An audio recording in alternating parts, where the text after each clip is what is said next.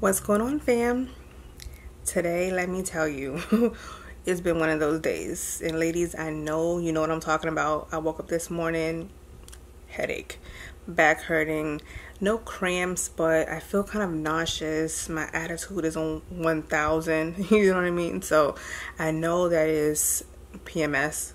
I woke up pretty early this morning, though. I straightened up a little bit and I was really tired. So I laid down around 10 and I just woke up. Y'all, it's 5 o'clock. So I woke up around 4.30. It's, it's 5 o'clock right now. And I already know it's going to be very difficult for me to go to sleep tonight. So I'm going to have to make take a melatonin so I can chill out and be able to wake up at 3 tomorrow morning so I can get up and go to the gym before I log in for work. I had plans of journaling because that was one of my New Year's, New Year's resolutions. I wanted to continue or start, you know, journaling again, and I haven't done that yet this year. So I think today will be a perfect day to get all my thoughts because I have several right now um, down on paper. So I think this will be a really good reflection day for me but really that's basically it. That's all that happened today. And i'll see you in the morning bright and early. Good morning you guys. Okay i'm gonna tell you something. The hardest part about getting up and going to the gym is actually getting up out the bed. I hit that snooze button twice but i was like you know what? Let me just get up because if i just sit here I'm gonna just say forget it. So although it's 3:45 and I'm just now making it making my way to the gym, you know, I did it. I got up and I'm gonna try to do better tomorrow. that's the that's the name of the game. Try to do better the next day. I know you can't really see me that well right now, but I just wanted to check in. If you don't believe me, look at my clock. It is 3:45, y'all. 3:46. Okay. It just turned 3:46. All right, so today's focus is back. I don't think I have time to do anything else. I only have maybe 35, 45 minutes. And I'm doing low weights, high reps. So that's a little um, time consuming time consuming because I want to um, tone. So yeah, one body part today home and showered up, ready to start my day. I just logged in. It's still pretty early. It's still dark outside. It's 5:25 a.m. And I can honestly say that I would prefer to get up and go to the gym rather than get up and go to my garage. I feel like I'm more motivated when I'm at the gym because for some reason I have it in my head that I'm competing with all the other women in there. I know that sounds crazy, but if I see another woman like uh, working out really hard, I feel like I gotta show her up. And that actually helps me have a better workout versus, you know, if I'm in the garage and I'm just trying to push through. And plus, I like the interaction with the other people. It's like, although I'm really, sec- I seclude myself. I, I mean, I do, I, I can admit that. I work from home. I don't really talk to anyone. I do use IM or I'll be on FaceTime with Venus or something like that. But for the most part, I don't really go anywhere when I leave. I mean, when I log off from work, I'm in the house or I'm at the grocery store. Look, I go to the grocery store all the time. Not because I want to interact with people, just because I'm always looking for something or always need something, but I digress. But yeah, it's nice to have that little bit of interaction even though I'm a loner. You know what I mean? And it's like I walked in there because today was my first day back to that gym. I go to Planet Fitness and I knew two of the people that were in there. But it is a Monday. Most people, most of the people that I, I used to know never came in on Mondays because, you know, football Sundays. But yeah, when I walked in there, I knew two people and we had like a little conversation and then I got my workout in. So yeah, I feel good. I'm up and alert. I took my pre workout, so I'm still like buzzing, you know what I mean? And yeah, I just, I'm happy I went. I'm actually waiting for Venus to call me because yesterday she texted me and she said that she was almost a victim a victim of somebody trying to steal her purse while she was at the gas station. I guess they tried to open her car door. She hasn't given me the full story of that, but once I find out what happened to her, I'll let you guys know as well. But in the meantime, I'm going to I'm going to get some work done and I'll talk to you guys a little bit later. Uh, all right, so Venus had internet problems this morning, so I couldn't really FaceTime her. But like I told you earlier, she had an incident yesterday, and I'm gonna need you to go ahead and let us know what happened because you know I be scared about stuff like this, so I need to be in the know. so what happened? What happened? So yesterday, Sunday, I get up and I'm going to church. I leave home early because I know I need to get some gas. Uh-huh. So I get to Virginia Beach at Wawa's on Independence. Ask you know where that Wawa's is. Yeah.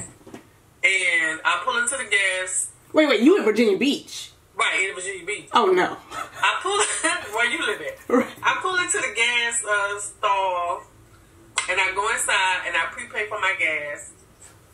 And I come out and I'm getting ready to start pumping my gas. Mm-hmm. Now, by nature, I'm just nosy, so I always look around, especially if somebody pulls in beside me at the pump. Mm-hmm. But when I started pumping my gas, nobody was there. There was a guy two stalls down that was pumping his gas. So, you know, I had looked and saw him. So I'm pumping my gas, and all of a sudden, this white little little white SUV pulls in. There's four young black dudes in the car, right? Yeah. I'm like, I mean, just naturally, I turned that way because a car pulled in. So I'm looking at them. They looking at me, right? so okay, we looking at each other. So then it seemed like, you know, of course, all the windows are up. And yesterday, actually, it was in the 70s. So you know it's hot. Uh oh. Your internet messing up again. it's been doing this all morning. Alright. I'm gonna hang up. It says it says poor connection, so I'm about to hang up and we can reconvene in one moment. Okay. Venus system up and running for right now. So so what we you was we was at you oh it was some it's, it's 72 degrees yesterday, so why the windows open? No, the window. Oh, windows closed. Windows up, right. So now, mind you, okay, it, it wasn't the fact that it was four little young black guys in the car, but you pull up into a um, gas stall, nobody gets out to start pumping gas, and y'all just looking around. That's suspicious to me. Yeah. So of course I'm just gonna I continue to stare at them. Normally, and I guess most people when you pump your gas, if ain't nobody there or somebody pull up, you'll you'll glance at that person or that car and then look away at the gas pump. Mm-hmm. And I normally do. I'll be at, at the gas pump. Like I said, when I came out the store, normally I would open my car door and throw my purse on the passenger side if ain't nobody in the car. Close the door and just pump my gas. For some reason, I put my purse in the driver's seat before any of that went down. Anyway, but only one, and then for real, only one of my car doors should have been open, which was the driver's side, because I only hit the thing once. Yeah.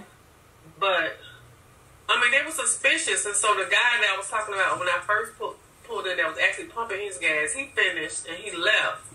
So they still looking around, and then a um, AAA tow truck um, pulled in Wawa on the side that we were on, and it came around. And I guess you know he was just parking out of the way, but it was a, a, a fairly large truck. Mm. So they was still looking around, and they you can hear them talking. I mean, mouth moving in the car or whatever. Nobody still ain't got out the car to pump no gas. And I'm I'm still looking at them. like, I never took my eyes off any of them. And then they were, you know, the, the, guys in the front, they weren't really looking at me, so they was like they was trying to hide their face. They had hoods up and everything. And seventy something degrees outside yesterday. Yeah. And so uh, then all of a sudden, the driver just immediately put the car in, in reverse and peeled out of the stall all the way back over to the side of the building, actually in park. I was so sure I couldn't even finish pumping my gas. so luckily, you know, I had prepaid with a card, so I was like, the, the pump just automatically just stopped out of nowhere. I'm like, okay, it's done. I know I should have been able to pump the whole twenty dollars. I was like, you know what, whatever. I put the thing back in, got in my car, and left. And I was like, that's crazy. I Yeah. said, so I wonder what he But they're gonna. I said because if I would have been looking away, and my purse would have been in that passenger seat, I'm one of them little boys would have probably got out of that car, probably open my passenger side, grab my purse, and peeled out of Wawa because that's the way they would turn. They would turn to actually be able to get out real quick. Yeah. I said that don't make no sense. Like I got something. Everything would have been in my purse. I would have been hot. My phone was in there. My daggone Kindle was in there. he said the Kindle. my Kindle was in there. You know I would have been sick if they would took that Kindle. Which is crazy. My wallet with all my cards.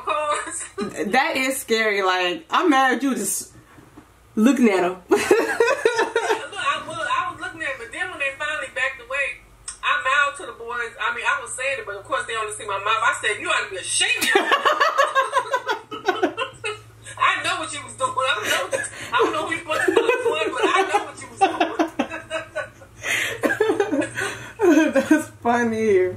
But you know, when I get out my car, the only door that's unlocked is my door. I never unlock my passenger door or the back. No. So they, they would have had to come get me. they had to come around, and then we would have had a. It would have been a scene out there. I mean, it wasn't like there wasn't a hell of people in in Wawa's. All these cars in the parking lot. I'm like, okay, you supposed to try that with. It, it's not dark time. It's, that's what we doing in daylight, nigga. yeah, well, hey. Dang. And this is in Virginia Beach. Ain't that about something? Right. Just go to show you. No matter where you at, you better be aware of your surroundings at all times. Right. Well, now I'm really aware. Thank you, uh, Venus. I'm gonna be hyper vigilant now, and you know how scary I am. Like, Lord. Cause I'm like, I mean, my heart, my heart was beating off face and everything. Lord. Mm. So, y'all heard this story. Make sure that your lo- your doors are locked when you are going to bump your uh, bump. When you're going to pump your gas, or maybe put your purse underneath your seat, or you know, yeah, on the driver's side. I, yeah, I wouldn't advise you to throw it in your passenger seat if that's what you're used to. And I mean, that's normally just what I'm used to. If ain't nobody in the car with me, I just throw it in the passenger seat so I could just get in the car and go. Yeah. But no, either put it on in the driver's seat, you're gonna put it in the car, or just hold it on. I don't even know. I don't know about holding on to you because somebody might try to jump you and grab and snatch it away from you. Well, then I shouldn't even take a purse with me no more. Just keep a little wallet, keep it in the console or something. Like y'all, this crazy. Right, it's ridiculous. I'm like, maybe I should just take a card from now on and just have my ID. I Yeah. need to stop at the store and that's it. Hmm, always something. Badass little kids. What's wrong with y'all? Look, riding around in their mama SUV. That's probably the case too. Shoot. All right, just got off of work. Had to go ahead and walk the dogs. It's about to rain, and I am tired, y'all. A 3:30 in the morning wake up call to go to the gym. Yeah, I'm pretty exhausted. So you already know what I'm about to do. I'm going to go home, make something to eat, and then probably take it down extra early. I, I, I expect to be in the bed by 6, 6.30. Yeah. then I'm gonna try to do it all over again tomorrow. We'll see how that goes. Bye, you guys.